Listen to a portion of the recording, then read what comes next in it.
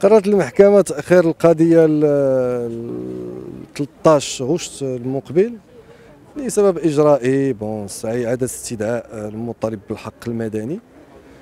أه فقررنا إحنا نتقدموا بطلب طلب رفع الاعتقال الاحتياطي فيما يخص نصر الدين زيان على أساس أن تم الاعتقال ديالو في 15 4 بناء على قرار ديال السيدة قضية التحقيق وان الفصل 176 من قانون المسطرة الجنائية كيعطيها 30 يوم شهر.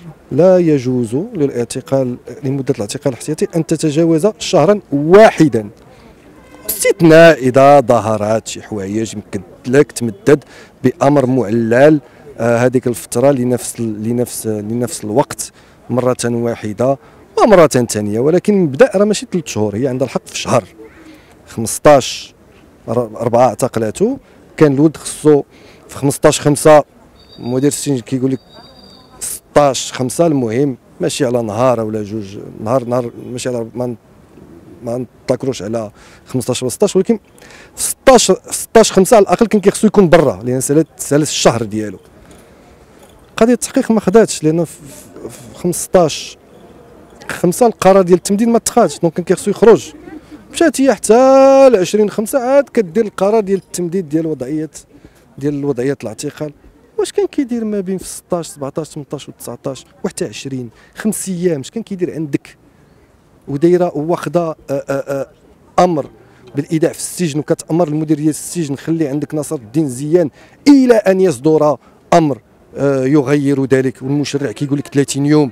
واقول له خلي عندك 30 يوم إلى حين تمديديه وإذا ما مديتوش تلقوا المشرع البرلمان كيقول لك 30 يوم أنت كتقول له خلي عندك تنقرر أنا. شكون أنت؟ ما عندها حتى شي تعليل. حيث أن فترة الاعتقال الاحتياطي على وشك الانتهاء. ايوا بالضبط على وشك الانتهاء. ماشي أنت كتقولها المشرع كيقولها. ومن بعد شنو هما السبب اللي كتخلي الناس في الحبس؟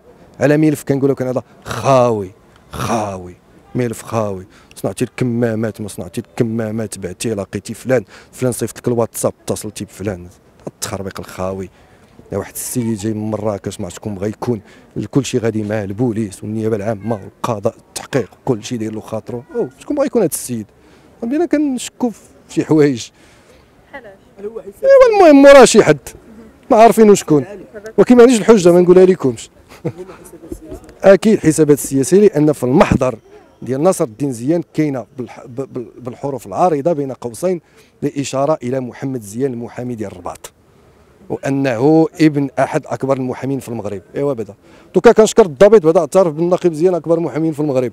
هذه كنشكروا فيها. ولكن علاش كتجبد سميه زيان في واحد المحضر اللي هو ما عندوش علاقة به؟ علاش؟ علاش؟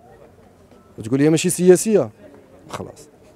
كل شيء فاهمه ما تنساوش تابوناو في لاشين يوتيوب وتفعلوا الجرس باش يوصلكم الجديد. أيام 24 عيونكم التي لا تنام.